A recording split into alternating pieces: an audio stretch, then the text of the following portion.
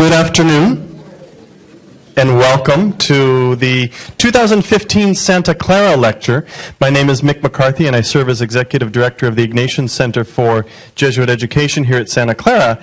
And today's Santa Clara Lecture really is a highlight of our this year's Bannon Institute, a year-long series of events, lectures, discussions, uh, really uh, around the theme of Ignatian leadership. Now, the strange fact of a Jesuit pope gives us unprecedented lens for discussing this theme, Ignatian leadership. And today's speaker can certainly give us the long view. As, as an eminent historian, uh, he has specialized on the religious culture of early modern Europe and has written widely on the history of the Society of Jesus. His best known work, the first Jesuits, received multiple awards and was translated into 10 languages. 13 languages. Every week there's a new book comes out, whether an original one or one in new, new language. Uh, more recently, he's produced works on the relationship between Jesuits and the arts, Jesuits and the sciences, the Council of Trent, to name only a few uh, topics. In 2008, Harvard University Press published another of our author's most important works entitled What Happened at Vatican II.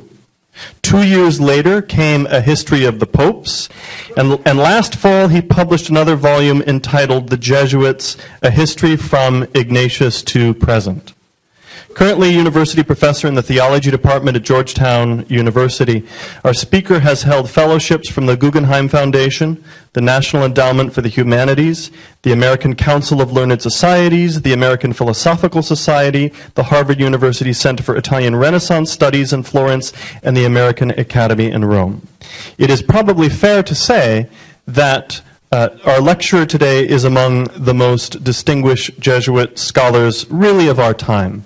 And today we have the honor uh, of, of, having him give the 2015 Santa Clara lecture looking at Vatican II with Pope Francis's eyes, leadership and spirituality. So I would ask you all to please welcome our lecturer, Father John O'Malley of the Society of Jesus.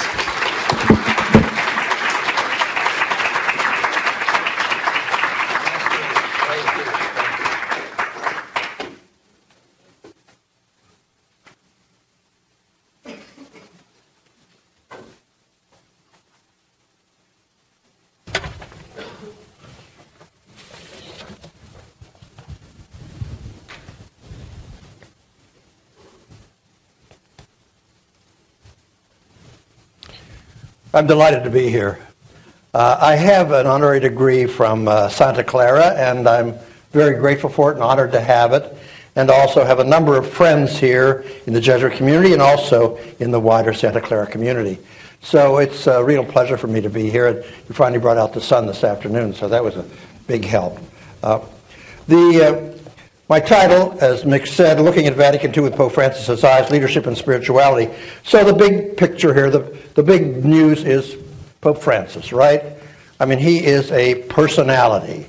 Uh, he's captured the imagination of all kinds of people. I mean, the fact that Fortune magazine had a long article on him last year about his management style, it was very positive about it, tells, says everything. And the current issue, of the New York Review of Books, which is hardly the most uh, Catholic friendly magazine that there is. On the cover is Pope Francis. And what is he saying? It's an article in there by Eamon Duffy, the eminent, uh, well, Irish, but a British historian who teaches at Cambridge University in the UK.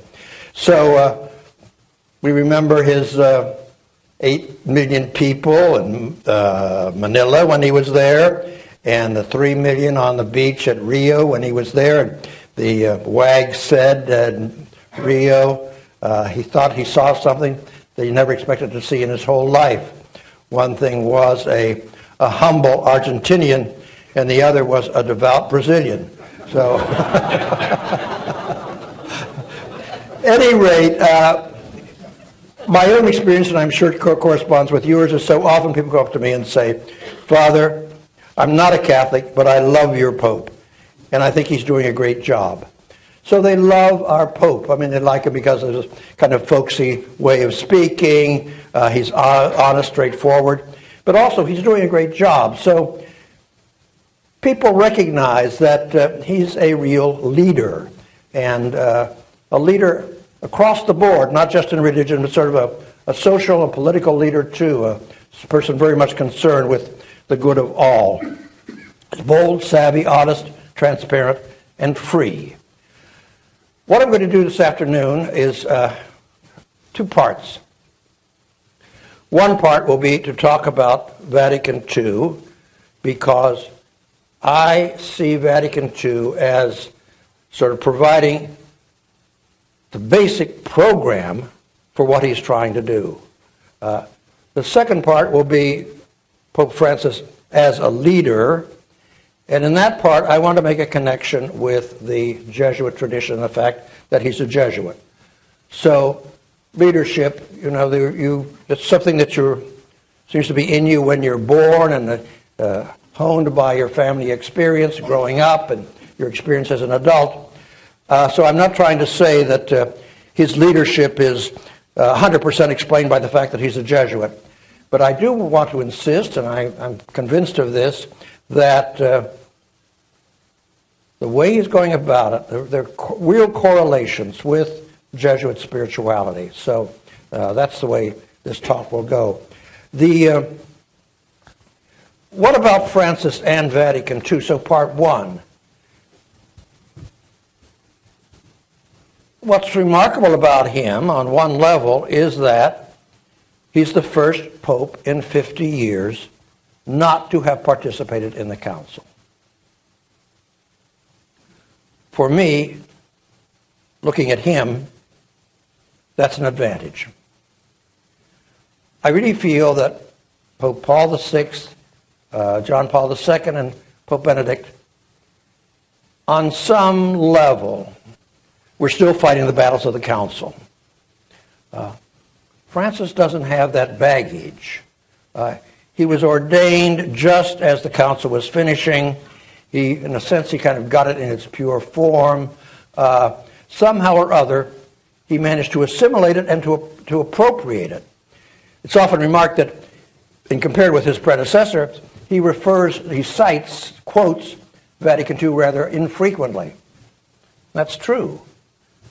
I think he does, doesn't do that because it's so much a part of him. Uh, it's, it's the way he is. It's uh, how he sees the church. And I'll try to explain that as I go along. So, how to understand Vatican II? Well, it's an extremely, well, let me say one, one other thing about uh, uh him and Vatican II. The, uh, as uh, Mick McCarthy said, I in 2008 I published this book on the Second Vatican Council. Got a lot of invitations to lecture on it, and uh, was very happy to do that. But when I'd finished, I think I'm really talking about something dead in the water. Uh, it's an interesting thing that happened, uh, and but it's gone. And then, uh, beginning in uh, 2012, with the anniversaries of the council, more invitations and the same thing. I don't feel that way today. I don't feel that way at all.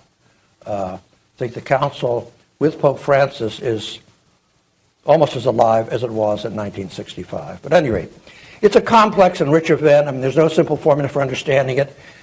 It's trivialized by referring to now masses in the in the vernacular. That has little to do with it. So, but how are we going to look at it?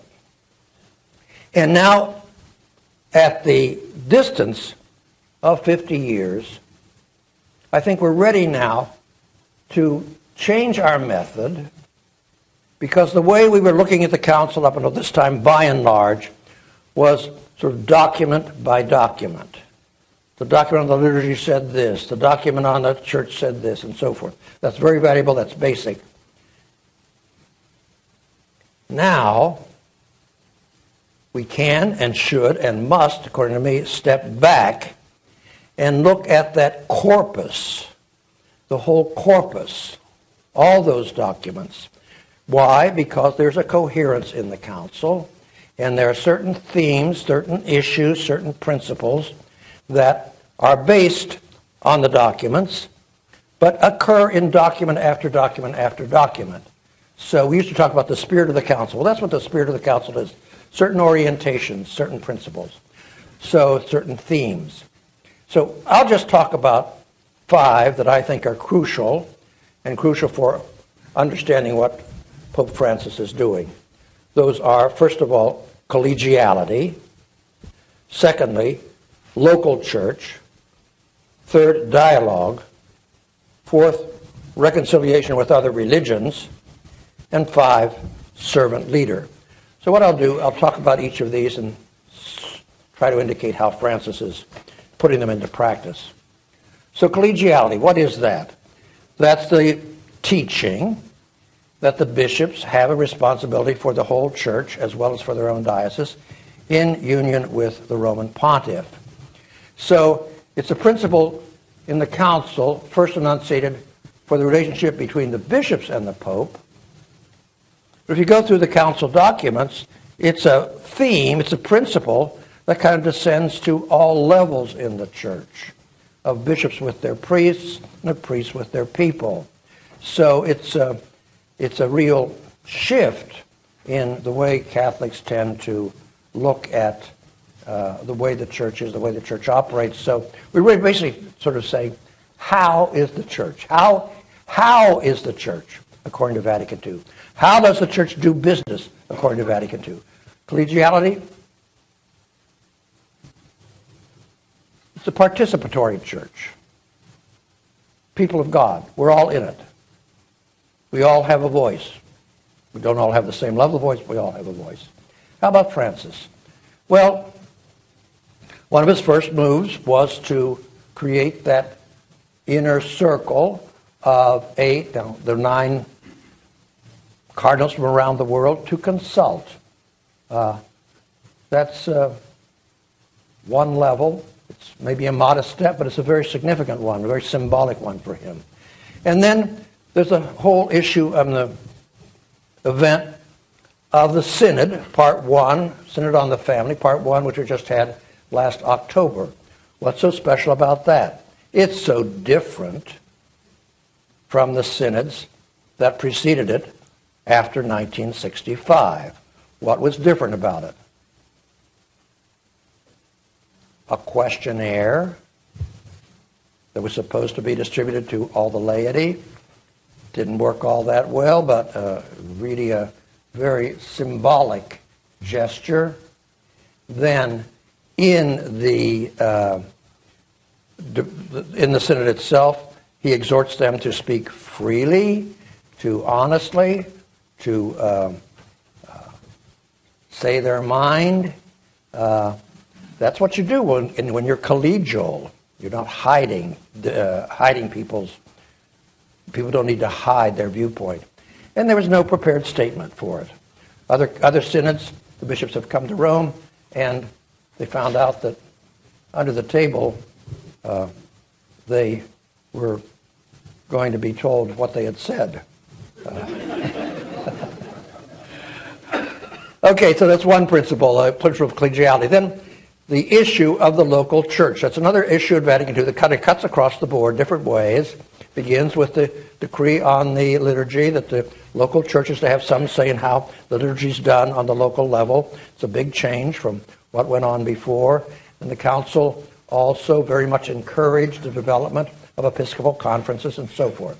So another principle, very important, Francis himself now, uh, how does he introduce himself? On March the 13th, 2013, Bishop of Rome, uh, the local church. And just recently, last week I guess it was, he made a little, another little sort of liturgical change, you might say the archbishops, you know, get a pallium. It's a little ecclesiastical, little sort of little, almost a stole, uh, woven from lamb's wool partly. And until last week, the archbishops came to Rome and were invested by the Pope.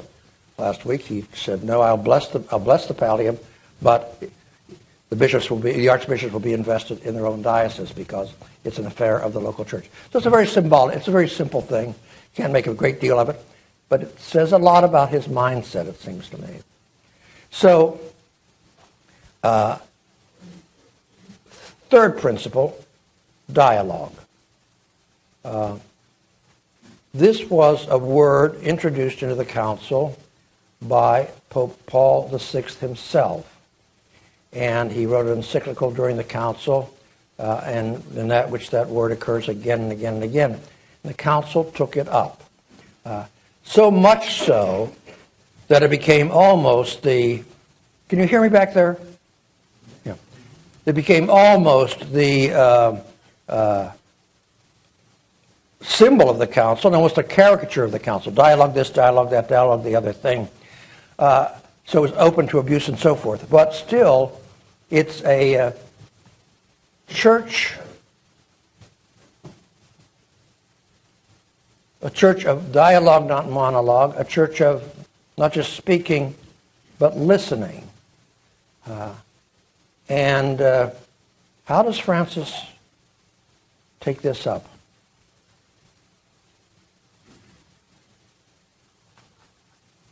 I think in a few weeks or maybe next week, Rabbi Skorka's coming. While he was Archbishop of Buenos Aires, as you know well, he carried on this uh, ongoing dialogue with the chief rabbi Buenos Aires, Rabbi Abraham Skorka, and they talked about a wide variety of topics, uncensored, and this was later published. Was, the translation was published into English. That is incredible. That is incredible in the history of the Catholic Church.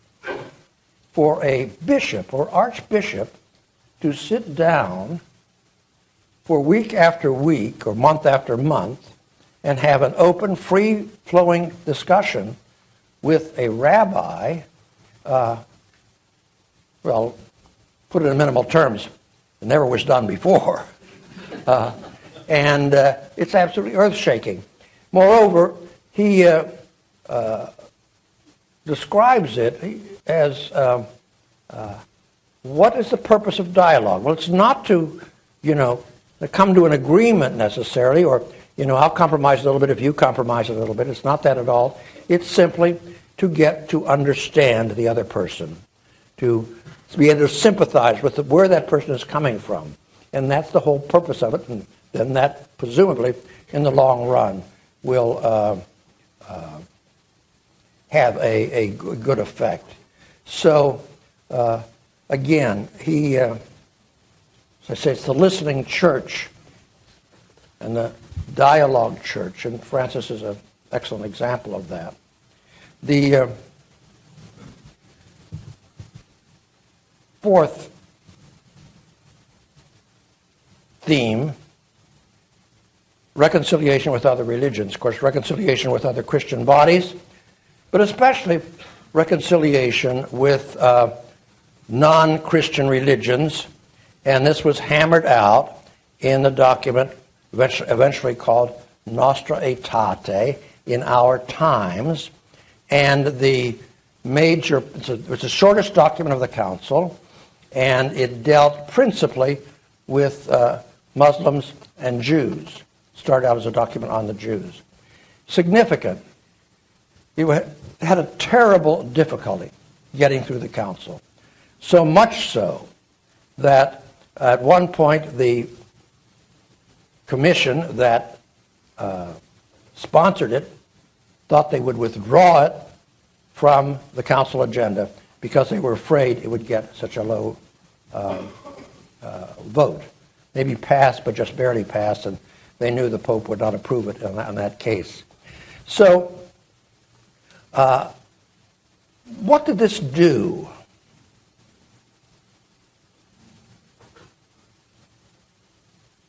It's earth shaking, I think. It gave the church a new mission. It was a mission to be an agent of reconciliation in the world. Well, that's the gospel, right? But if you look at church history and so forth, the, that's not always been sort of the con- concept of the mission of the church. I have to say that uh, uh, Pope John Paul II and then a little lower key, Pope Benedict, uh, really took this seriously and promoted it. But Francis at another level altogether, I, I just go, keep coming back to this interview or this uh, dialogue with Rabbi Skorka, washing the feet of that Muslim woman. Uh, so uh, it's uh,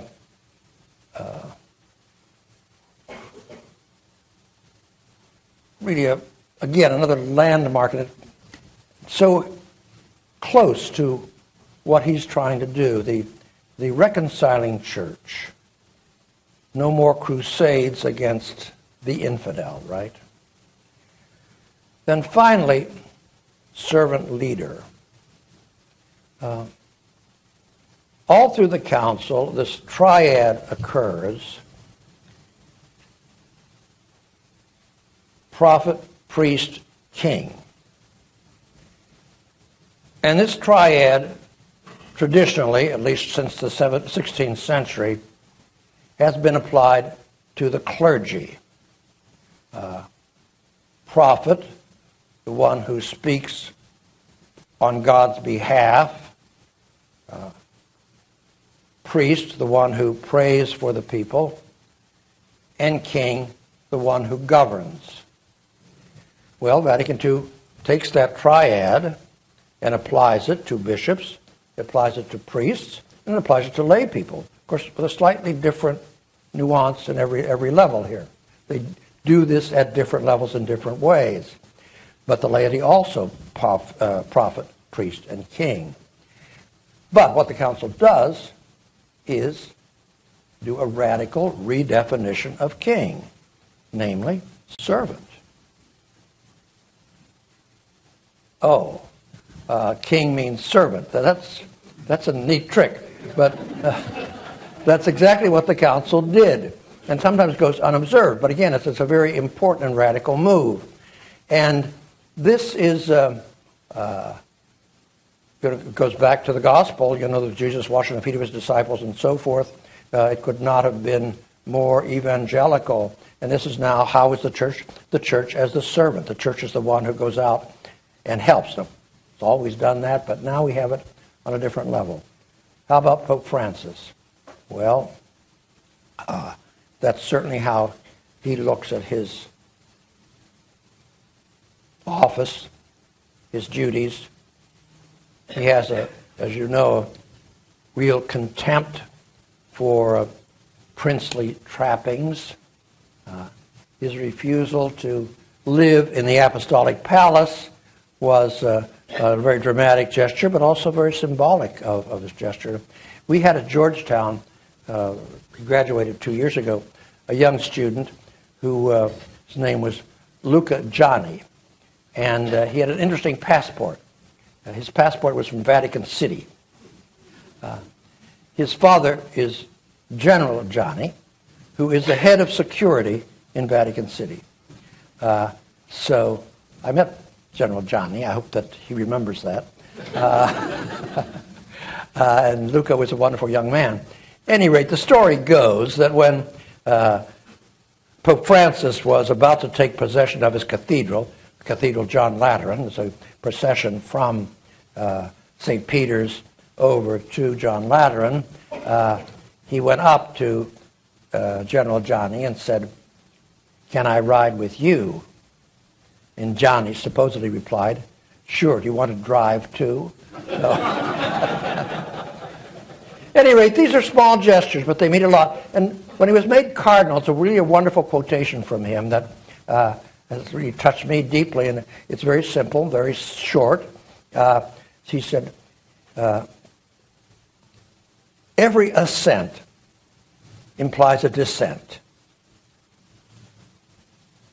You must go down if you want to serve better. I think that hits him off. So, any rate, how to put all this together, as I say, basically with Vatican II, now we're looking at how the church, the kind of How does it do business? How this touches us all. How do we, as Christians, behave? As Catholics, behave? And how do bishops behave? How do priests behave? How does the Pope behave? Uh, so, participatory church, listening church, reconciling church, serving church. One of the great heroes of Pope Francis is Pope John the 23rd. Matter of fact, he has supposedly said that had he been elected in uh, 2005, when Pope Benedict was elected, and you know he was the next candidate, the runner up, had he been elected, he said he would have taken the name John in honor of uh, Il Papa Buono, the good, the good Pope, Pope John. So, how does John? How did John describe to the council fathers what he hoped the council to do uh, in its deliberations. And he basically said the council was to show the church to be the loving mother of all, benign, patient, full of mercy and goodness. And I think that's what kind of sums all this up. I think that's what Pope Francis is aiming to. So now let's move to part two. Um, how's he doing as a leader? How, do, how does he act as a leader? Uh, what are the qualities of leadership? And I have three qualities of leadership here that uh, there are many more. As I said when I began, uh, leadership is a kind of a miracle. If it happens to some people, it doesn't happen to others. Uh, but uh, we can analyze it and get some characteristics that maybe, maybe help us understand it. One characteristic of a good leader is the good leader chooses the right people to be around him and to around her and to give advice. I mean, we rec- recognize it instinctively with uh, any executive we know, any university president, any president of the United States. Who is who does he listen to? Whom does he talk to? Does he talk to the right kind of people? So that's, I think, the, the first quality. And to do that, you have to have a good dose of humility. You have to be able to say, I am not omniscient.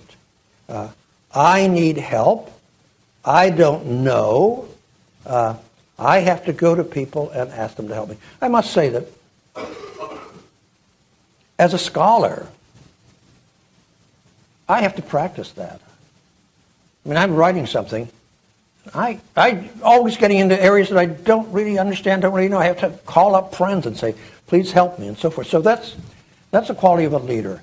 And Francis, again, uh, the first thing he does is that G9 or G8, G9, gather those cardinals around him.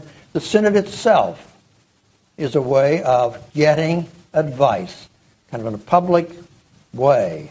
And then uh, his Skorka, just being with Skorka, he has to say, I, don't know, this is how, this is where I stand, you know, I'm, I'm listening to you, so forth. So choose the best people to help you. Point one. Point two. A real leader has to have inner freedom. Uh, not look over his or her shoulder uh, to, before making decisions. Uh, need a certain a great level of self-possession uh, and able and willing to make moves that challenge convention. Uh, not, not be afraid of criticism. Uh, these are all the marks of a leader. I must say that, you know, I was often asked when the long pontificate and the long illness of Pope uh, John Paul II, shouldn't the Pope resign? And I said, well, you know, theoretically that looks okay, but I said, my fear would be that with a, with a Pope still living, uh, the new Pope would always be looking over his shoulder, would not want to do anything that might seem to be a implicit criticism of his predecessor still living doesn't bother Francis. Once again, my predictions were absolutely wrong. So, uh, he's not like that at all. So he's very much, his very manner of speaking, spontaneous, unrehearsed, uh, break the mold. Those, that line that's so often quoted on his trip back from Rio when he was asked on the plane about uh, uh, gay people and so forth. Who am I to judge? Well, you're the Pope. That's what popes do. Uh, no, he, he, he, he, he's his own person. He breaks that mold. He's got this sort of inner freedom. Then, thirdly, a leader has to have vision and boldness in implementing it. Uh, he's got to be able to move the agenda, move the institution or move the whatever it is along. So, uh, what about Francis? He's shown that from the very beginning. Uh, the very way he's tackled this problem of the Vatican Bank. We don't have the solution yet, but uh, we do know that he calls, has called upon the best people he can get around the world uh, and uh, is determined to do something about it, and he has good people to help him do that. The uh, very way of the Synod, again, uh, it's uh, boldly kind of re reimagining what the Synod is and what the Synod can do. Uh, and uh, it's not a know it all papacy. So, those are three qualities of leaders, leadership, that I think are important. Now, I'd like to make a correlation of that with the Jesuit tradition and Jesuit spirituality and the uh, experience that Francis had uh, as uh, a Jesuit. So, the first correlation would be with where am I here? Okay, breaking the mold, humility, choosing the right people. Uh, here we go to the first week of the spiritual exercises. And uh, before that, we just go to the history of the Jesuit order. What about Ignatius of Loyola? I think one of the striking characteristics of Ignatius in his leadership of the Society of Jesus was his uh, choosing two people to be his closest collaborators because he knew they complemented his gifts and made up for certain lacks of gifts. So one of these was his executive, brilliant executive secretary, Juan de Polanco. And in Ignatius's writings, when he was general, it's really difficult to sort out where Ignatius begins or ends and where Polanco begins. Even a document like the Jesuit constitutions.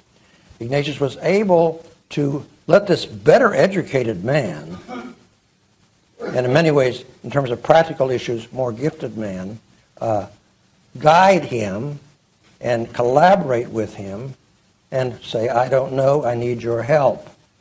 And the same thing with the, his second great assistant, this man, uh, Geronimo Nadal, Ignatius gave a really plenipotentiary powers to, carte blanche, to go out in all Europe, visit the Jesuit houses, and tell them what it meant to be a Jesuit.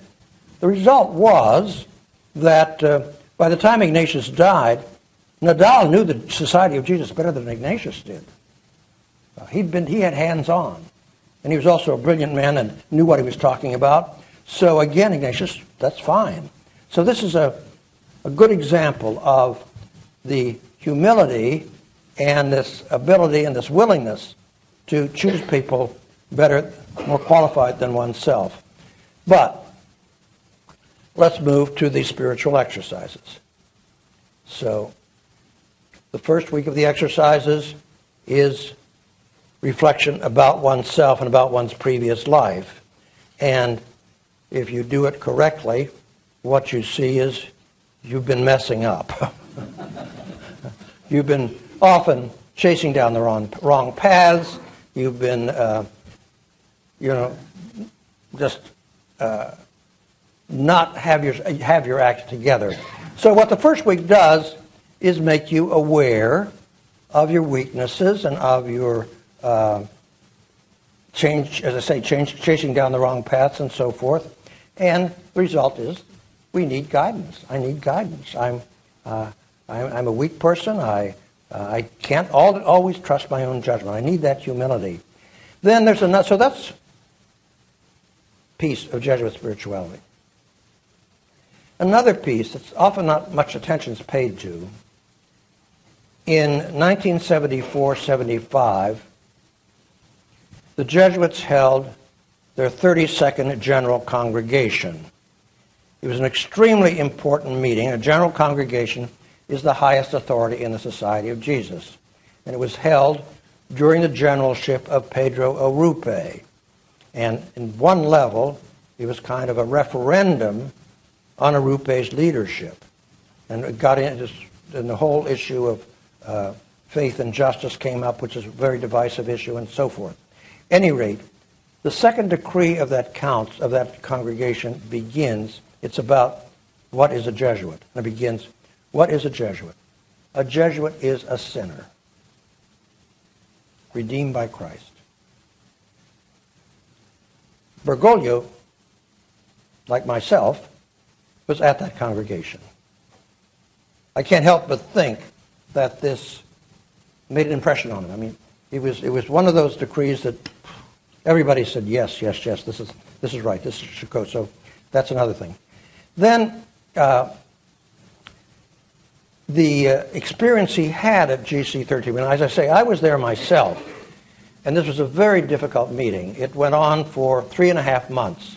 And those of you who are faculty members, so just imagine you had a faculty meeting that went on for three and a half months, five and a half days a week, with no, with the agenda being the greater glory of God.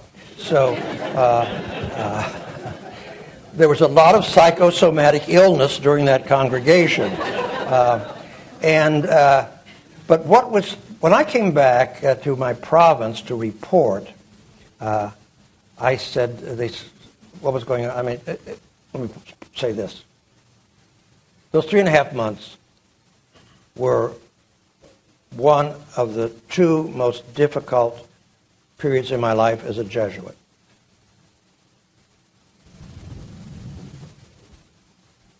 They were also the best my experience as a Jesuit. Any rate, when I came back, I reported the province, and I, what I said was, well, a Jesuit is a Jesuit is a Jesuit. We had all these differences, all this controversy and so forth. What we knew was everybody was trying to speak honestly for what they thought was best for the Society of Jesus and best for the church, best for the world. And what really struck me was how honest and straightforward people were. Well, Bergoglio was at that congregation, and uh, that seems to me like I think in the back of his head for the for the synod, he had a Jesuit congregation in mind. And the good thing about the congregation, 32nd General Congregation, was a lot of debate, a lot of, you know, passion. At the end, we were able to kind of pull it together. And I was asked today uh, by a, a, little meeting I had with some people on the faculty here. So, where's the Holy Spirit in this whole thing? Well, I really feel that nobody knows where the Holy Spirit is, right? I mean, that's a mystery. That's beyond us. But if the Holy Spirit's anywhere, it's in honesty. He's in honesty. She's in honesty. So this is, seems to me, uh, really an important uh, sort of experience that Pope Francis had that I think may, has made a lot of difference. So at the end of the uh, synod, too, that address he gave was uh, really interesting. He said, "Well, we had a lot of disagreements," and he said, uh, "That that doesn't bother me. Uh, this is the way it should be." And The, I see, again, a correlation with the spiritual exercises, the rules for discernment of spirit, so that we had consolations and desolations. And that's just a sign that the Spirit's at work and that we're talking honestly and we're trying to listen honestly. So, any rate, uh, correlation number one humility uh, and Jesuit spirituality. Correlation number two uh, inner freedom. Well, that's basically what the spiritual exercises are trying to accomplish. So, uh, I think we need to realize that uh, Pope Francis not only has been it was a Jesuit for many many years, he was also master of novices. So he made the spiritual exercises in 30, the full exercises, 30 day retreat twice in his life, and then was master of novices and led other people, led the novices of the Society of Jesus through it. So he knows that well, and he knows that inner freedom, to find out God's will and to be ready and willing and able to do it and leave things behind, to move ahead, uh, to be your own person. Uh, that's one of the big fruits of the spiritual exercises. Then finally, the uh, third correlation with the Jesuit tradition. Well, the general tradition of spirituality, of course, is the Christian tradition, right? So, but it does have certain emphases. And this third one, with the boldness and courage,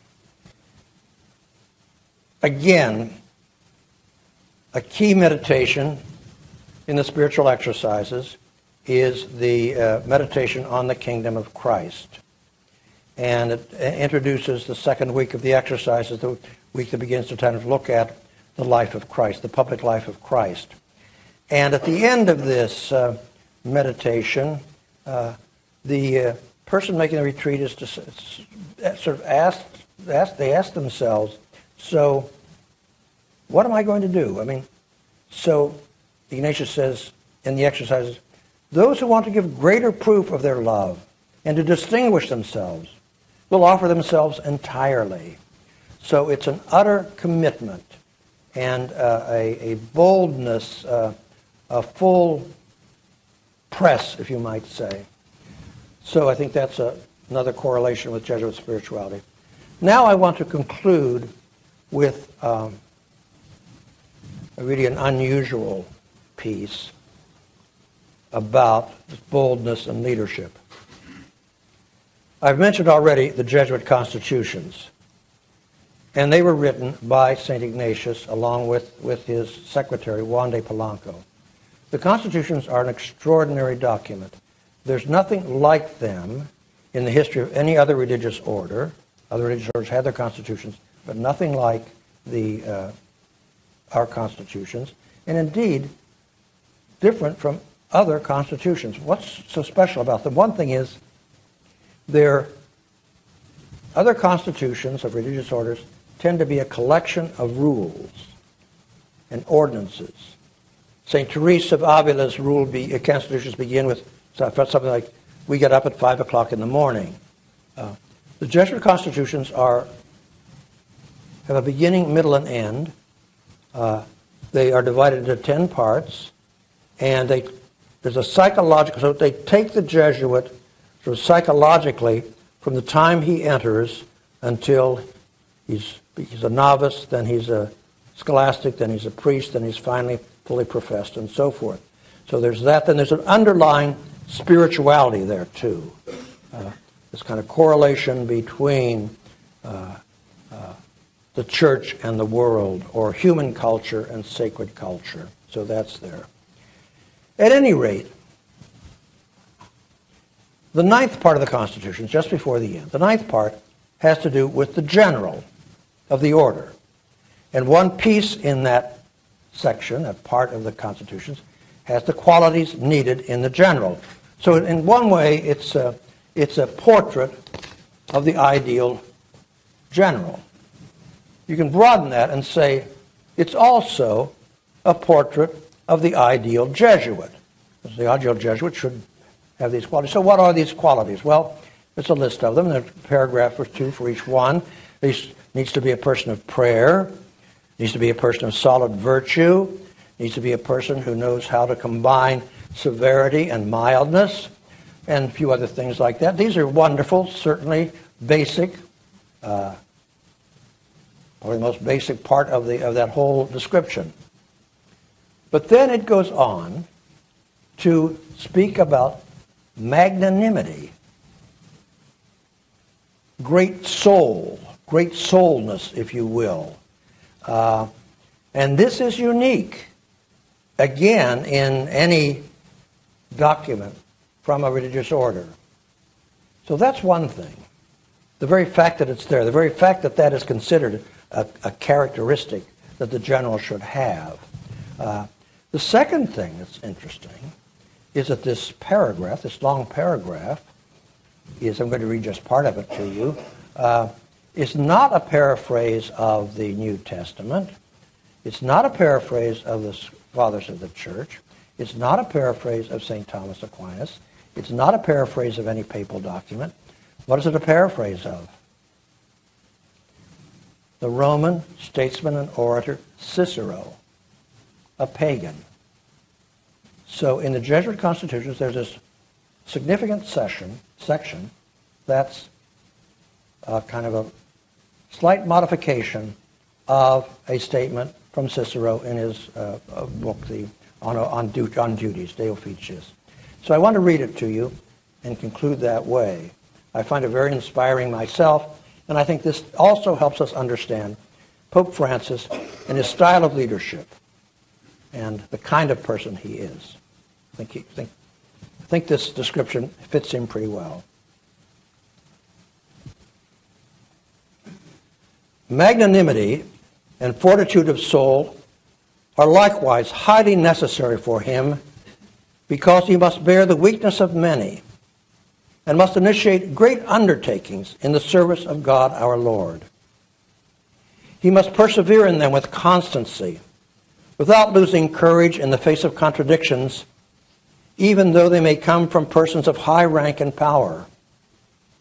He must not allow their entreaties or threats make him desist from what reason and the divine service require. He should rise above all eventualities, not allowing himself to be exalted by those that succeed or depressed by those that go badly, being altogether ready to suffer death itself if it is necessary for the good of the society in the service of Jesus Christ, our God and Lord. Thank you.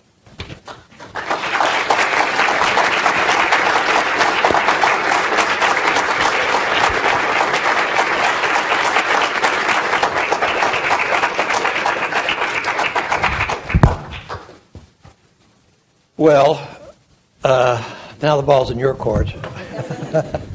so you want to take just a minute and say something to your neighbor. What, what struck you in this talk, if anything? What didn't strike you? Just take a second.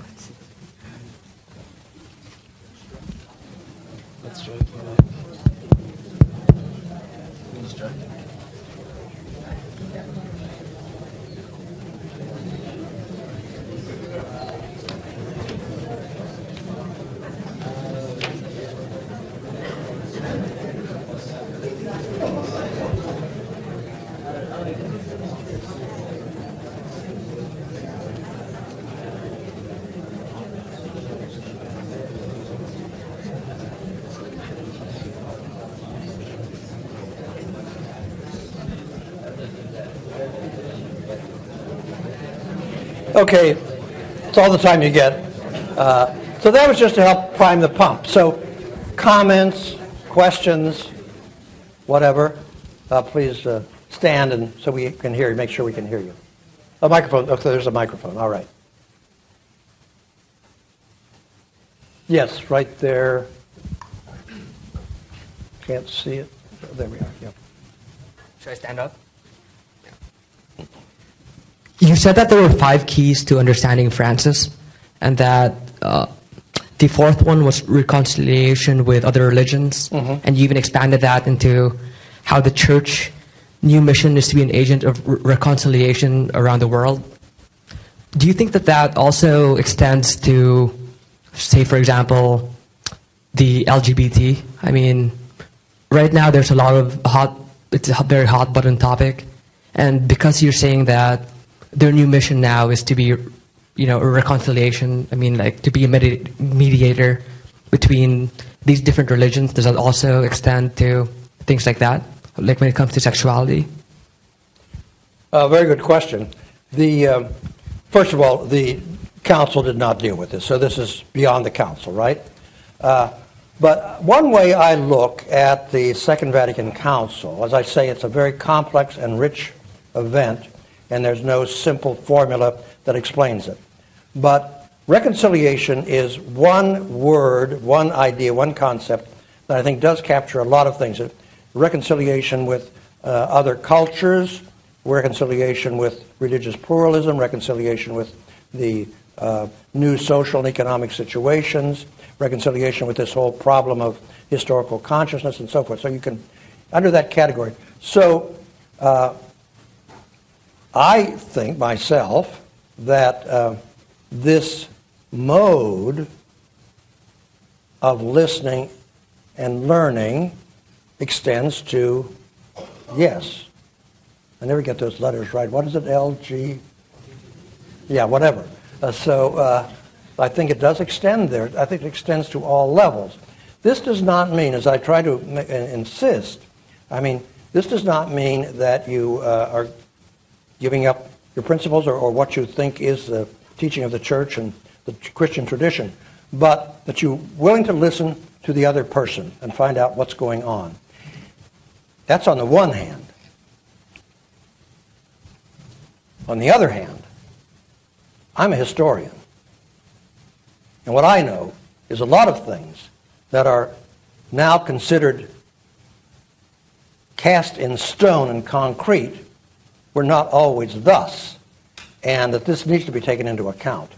So that's one of the things I feel myself, my own vocation as a historian, church historian, is to say, okay, it was not always thus. Uh, maybe it should, it's changed. Maybe it should have changed, maybe it shouldn't have changed, but it's not always thus. So to take a look at this, all this, I mean, this whole sexuality thing is, uh, it's a new game. It's a brand new game. And uh, uh, so the church needs to think about it. okay, can I go? No. No. Um, I want to ask you. I know you're a historian, but I want you to um, make believe you're a physician for a moment, and um, and I want to ask you about the, what your prognosis is for Francis's um, pontificate. We have a great deal of, of course, enthusiasm for him and what he has been doing, but given that the relationship with the Curia and the Magisterium and so forth, do you have a sense of, as a historian, what, given what you know um, uh, you know, broadly defined, what your prognosis is um, given some of the obstacles in front of them. Okay, good. Because I'm a terrible prognosticator, right? So anything I say, don't believe. I mean, uh, it's I, I, as I said the uh, in 2005 uh, when John Paul II died, I was often asked uh, who did I think the, the new pope would be, and I kept saying, well, uh, it's an open field. I mean, nobody knows. I mean, there's only one thing that's certain it will not be Cardinal Ratzinger. So, uh, so that's how successful I am prognosticating. This is a, a, real problem. And uh, there's this back and forth. I mean, John the 23rd uh, was a pope, and then was, he was kind of forgotten, what he was trying to do was sort of forgotten. So it's very, very uh, fragile. But uh, uh, somewhat depends on how long Francis is Pope. One thing which is an interesting fact is that both years, he's been Pope now two years, each year he's had a consistory and has nominated new cardinals. Uh, that is very unusual to do that that frequently. Uh, and uh, now, if the, if, the, if the conclave were held two months from now, he already would have appointed 25% of the voting members. So uh, I don't want to say he's packing the Cardinal of College. but uh, I'll just leave it at that. So that's about the mistake. I mean, it, who knows? I mean, what I know about history is it takes unexpected turn. Whoever thought Pope Francis would be elected? Somebody like Francis. I mean, I certainly didn't think that anything like that would happen. So that's about all I can say. Yeah. Um, I'm not getting up. Um, I want to talk a little about theology. In the past, um, theologians who ran into conflict with church teaching were either um, they either got a censure like Beth Johnson or Anthony DeMello, or they were silenced like uh, Hans Kung and Charles Curran. In the spirit that you mention of dialogue and reconciliation, how do you think that Francis is going to deal with, say, a Catholic theologian who might write a paper or publish a book that someone would have a tiff with? Okay, I'm going to predict again, right? I mean, uh, all the evidence we have, it's going to be a different game. Uh, now, he has left in place uh, Cardinal Mueller in the uh, Congregation for the Doctrine of the Faith. And uh, Mueller is a hardliner uh, and makes no bones about it.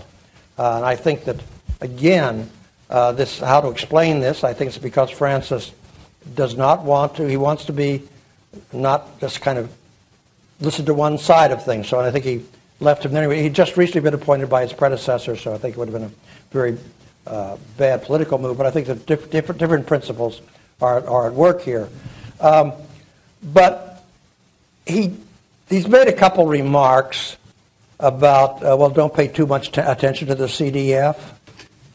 What's easier for him to say uh, than for us on the receiving end?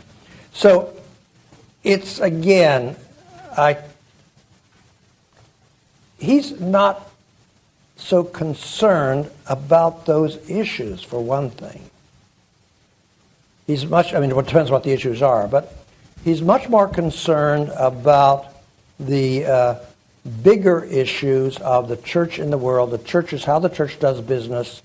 Uh, so I don't know. I mean, but I, I, I like to think a brighter day is dawning.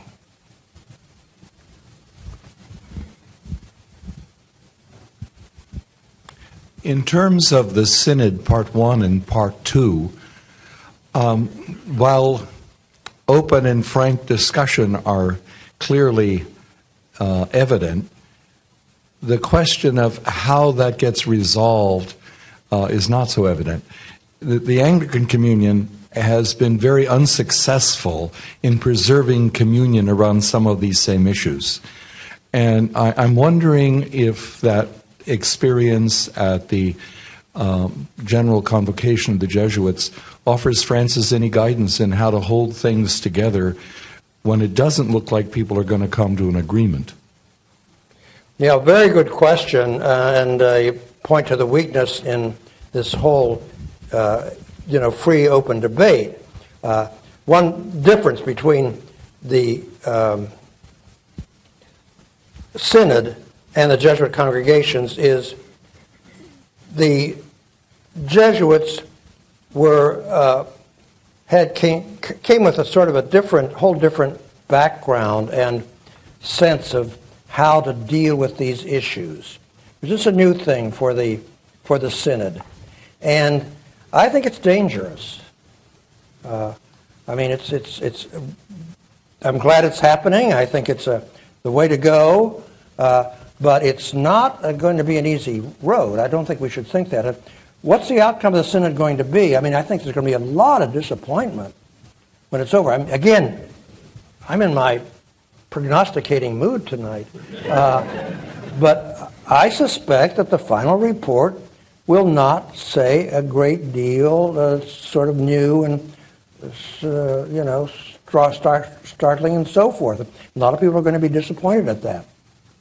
That doesn't bother me because what I think was important here was that now these issues are out there, they can be dealt with uh, as time goes on, and uh, the uh, uh the principle of how of honesty and clear and open debate and so forth has been established.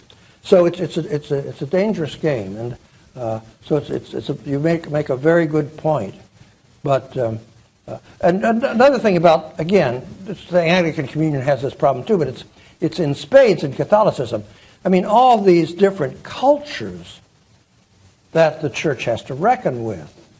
I mean, uh, in uh, the North Atlantic and uh, even South American world, polygamy is not, you know, at least in principle, not uh, acceptable, right? Whereas in Africa, it is. Uh, and all the thing about gay and lesbians in the North Atlantic world, even the uh, Latin America and so forth, that's kind of entered a whole new phase. It certainly hasn't in most parts of Africa and so forth. So it's. Um, holding this thing together. Now that's what the, that's the Pope's job. That's the Pope's job. And the good thing about Catholicism is we do have somebody for whom that, that has that job. The Anglicans don't quite have that. Not going to solve all the problems, but it's a good, good, good issue.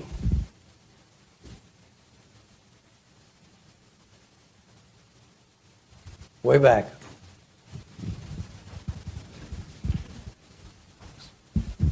Uh, I was wondering if you could touch upon some things that Francis may have done poorly so far, or maybe some issues that he needs to pay attention to sort of going forward in the future. Oh, you're touching my hero. I mean,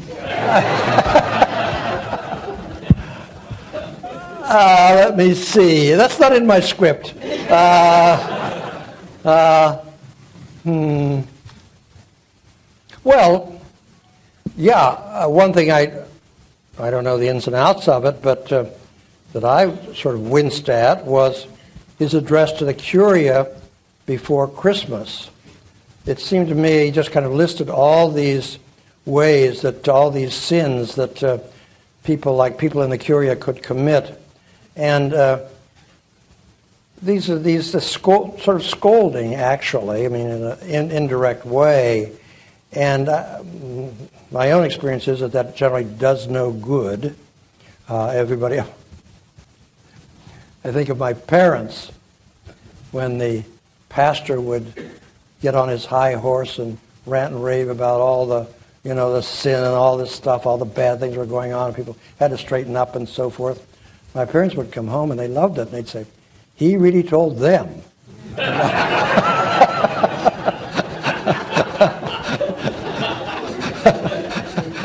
so I think in general with those things, those kind of generic accus- uh, criticism and so forth.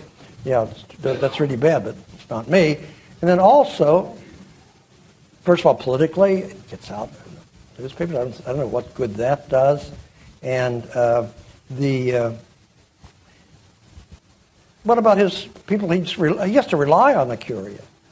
So uh, whether he likes it or not, that's the, that's the organ that organs that, that make the thing run. So that would be one thing I don't think he's done so well. I don't know. Others may disagree with me on that. I'd be happy to hear.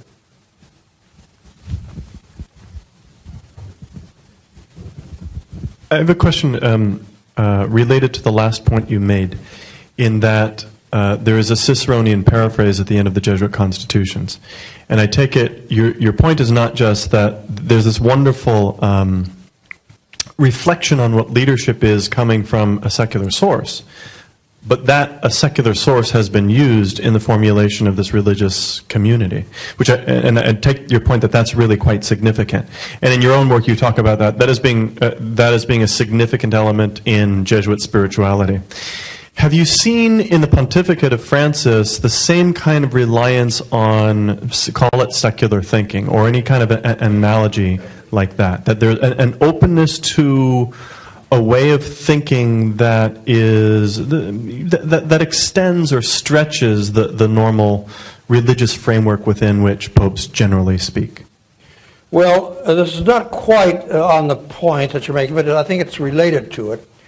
In his uh, that long uh, interview that he had with uh, Antonio Spadaro, the Jesuit, that uh, long ongoing interview with this editor of the Civiltà Cattolica, the Jesuit journal in Rome.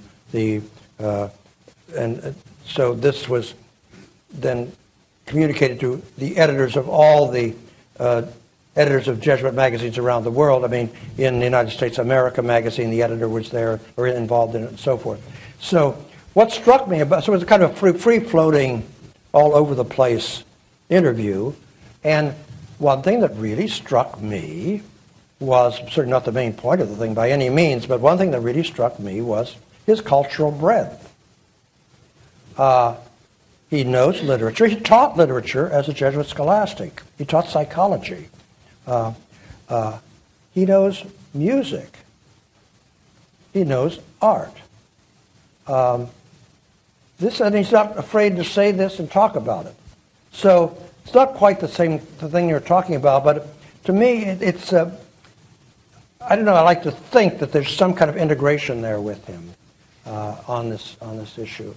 Uh, so that's about the best I can do on that. Yeah, over there.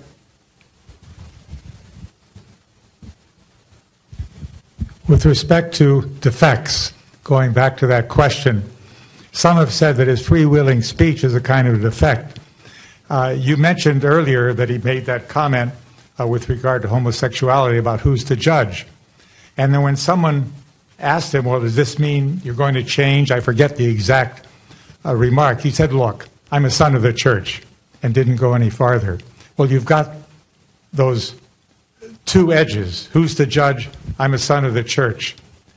Is there some reflection you can get out of those two comments? Not at this moment. uh, the uh, again, uh, it's, it's charming. His free floating style is very charming and refreshing. Uh, but again, uh, he's he's quoted. I mean, and it goes right into the internet and so forth around the world instantaneously. So, uh, I, I mean, th- those two, putting those two things, I'm the son of the church, and uh, who am I to judge? I don't see those as necessarily incompatible, because again, I think it's he's ready for some kind of process. Uh, so, and he has his theological limitations too. So, uh, I don't know what to say beyond that. Uh, it's. Uh, uh, I don't know what what more to say, really. That it? Okay, one more question.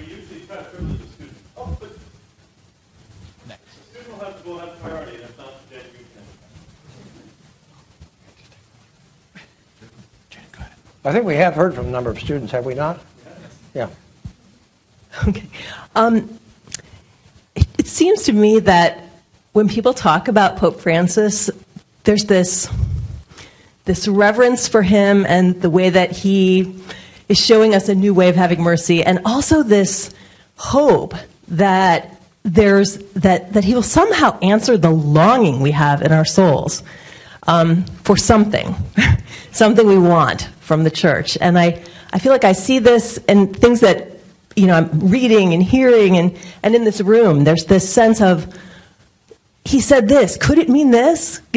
could could he be ready and willing to help answer this this longing? And I'm just wondering to what degree does a pope do that? Can they can they listen to the, the spirit of the people and, and the desire for acceptance and change and change based on that as opposed to something else? Well, the loving mother of all, benign, patient, full of mercy and goodness, uh, answer all our questions and so forth. He's not going to answer all our questions nor should he. I mean, but uh, to present the church in a way that does touch our deepest yearnings for uh, love and care from the church, that I think I- that I think a pope can do. I mean, uh, I mean, he's he's doing that. I think. Uh, again, the, the danger is to raise all these false expectations, these expectations which will never be met. Uh, uh, there's, I mean, we're every generation, every year, we, we start all over again with ourselves and with other people. So we never, it's a never-ending process. But uh, uh, I, uh, what do you expect from the? What is the gospel? I mean, uh, for me, the gospel is simply the the message that God loves each and every one of us unconditionally, and uh, seems to me he's, he's communicating that. And if, if something, if that or something like that is communicated, that touches us, that gets us, that that leads us, that helps us. So that's about all I can say. Let us take a moment to thank Father O'Malley.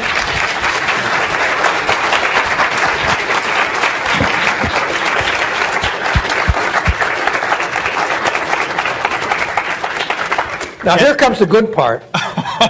Yes, he's going to sell his books. uh, uh, there are books, uh, of the many books that uh, Father O'Malley has published over the years, there are a number of them out, outside, and I think the good part is that he is willing to sign them uh, at, uh, right outside. So uh, I, I, I encourage you uh, to pick up one. Uh, the, the one that was most recently published is, is A History of the Jesuits, from Ignatius to the present. Um, I would also ask you, it's very helpful for us to get your feedback, so either with the evaluations that are, are physically on the desk or uh, in, in a link that you will receive uh, in your inbox, email inbox, that's very helpful for us for you to fill those out. Just two announcements about upcoming Bannon Institutes. Next week, as John mentioned, we will be featuring Rabbi Abraham Skorka. Next Tuesday, February the 10th at 4 o'clock here in this room, Rabbi Skorka will be speaking on interreligious dialogue, building relationships as persons. Uh, the event is currently at capacity, although we will have overflow rooms in the library open downstairs for viewing the event. So you may also watch this uh, via live stream, which you can access on the Ignatian Center's website. So that's number one. Number two, uh, we're quite excited that on Saturday, February the 21st, uh, beginning at 9 o'clock, we're going to have a symposium on Ignatian leadership. We're excited to be able to welcome Representative Zoe Lofgren and Yale University chaplain Sharon Kugler to campus for the Ignatian Leadership Symposium to share on their experience of leadership as integrating faith, justice, and the intellectual life. Unfortunately, uh, the third person that we had on the docket, uh, uh, because of unforeseen personal commitment, Janet Napolitano will not be able to participate. So for those of you who have registered, we'll be reaching out shortly regarding changes. I think Janet has promised us that she will come again, uh, but it will not be on Saturday, February 21st. So uh, the event is now free and open to the public and will be held here in the St. Clare Room. Ple- Please RSVP uh, on the website. We have one more thing to do, and that is to thank the speaker one more time.